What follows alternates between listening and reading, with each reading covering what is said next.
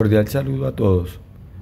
El día de hoy vamos a resolver este ejercicio que me dice aquí, observa la gráfica y completa el enunciado. Antes de resolverlo, esta figura es una función, esta es una función f de x, ¿sí? a la que se refiere aquí en las preguntas A, B, C y D.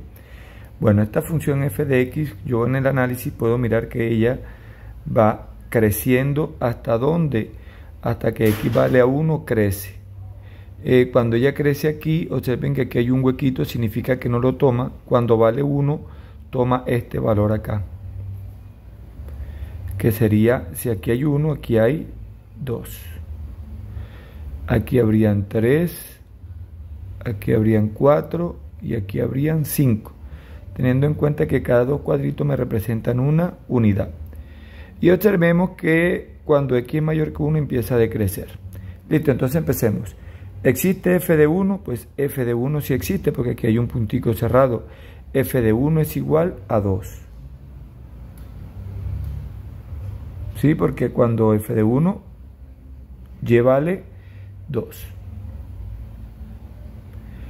Vamos a ver. Aquí es igual el límite cuando x tiende 1 por la izquierda. Por la izquierda significa que vamos por la izquierda se va acercando a 1, ¿a qué es igual? Pues cuando se va acercando a 1 demasiado, se acerca a dónde? Y se acerca a 5. Por lo tanto, este sería 5.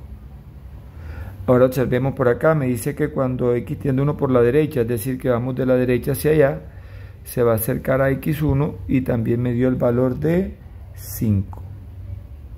Y por teoría dice que si los límites laterales, o sea, el límite por la izquierda es igual al límite por la derecha, entonces el límite sí existe y por lo tanto este límite es 5.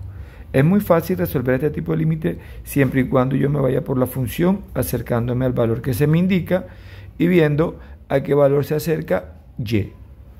Espero le haya sido de utilidad. Nos vemos en un próximo video. Dios les bendiga.